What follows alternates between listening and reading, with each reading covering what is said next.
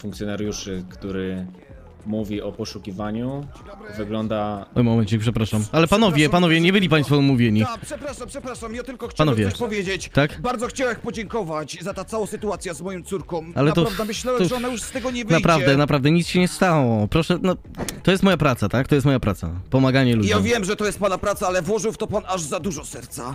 Naprawdę aż kręci mi się łza wokół od całej tej sytuacji. A, to była sytuacja faktycznie, faktycznie ciężka niezwykle, ale, ale wie pan, no po prostu mam dobre serce, tak? Ale naprawdę nie trzeba żadnych Dzięki wielkie. prezentów.